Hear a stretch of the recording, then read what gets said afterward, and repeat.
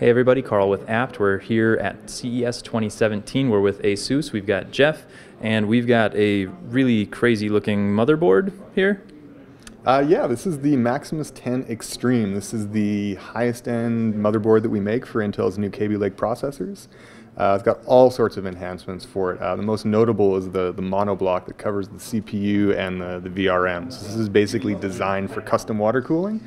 Uh, so you actually plumb your own you know, water cooling loop into the cooler. Uh, we work with a company called Bitspower to create it. It's got LEDs embedded in the actual block so you get that nice glowing effect. It also has a a bunch of really neat features worked into it. You can monitor temperatures going in and out of the block. It's got a little spill detector as well, so if you got any leaks in your system, it'll detect that you have a leak and then automatically shut down. Uh, on the bottom here is this actually removable piece, uh, and under that is one of the M.2 slots as well. So if you want to have cooling for your, your you know, super fast NVMe storage drive, uh, you can slap that on and it'll be tied into the same cooling system that's responsible for the CPU. Uh, we've got RGB lighting all over the board. Uh, it's also got external strip headers, so if you want to plug in standard 50-50 RGB strips, you can do that, light up an entire system. And then on the back panel, we actually backlight some of the audio ports. So you, if, you know, if you're crawling around the back of your system trying to plug something in, you don't need a light. You can actually see, you know, where your headphones are supposed to go. Very cool. Uh, I guess anyone who has their CPU underneath their desk is probably super appreciative of that. Yeah, it's almost kind of one of those things that you don't want to put a system like this under your desk. You know, it's, it's such a cool looking board, and especially the monoblock. You know, it's got kind of that retro tape deck feel.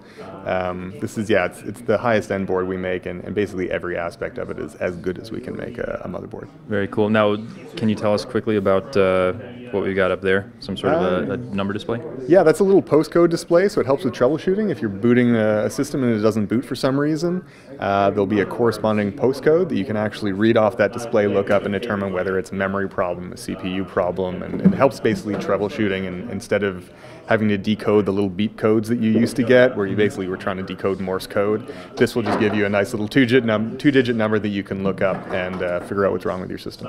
Awesome. And is this available right now? Uh, this will be available soon. Uh, we don't have the price set yet, but it's not going to be cheap.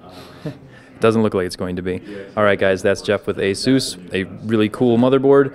I'm with Abt Electronics. Make sure you subscribe to our YouTube channel to stay current on everything that we're covering here at CES 2017, and be sure to also check us out at blog.abt.com.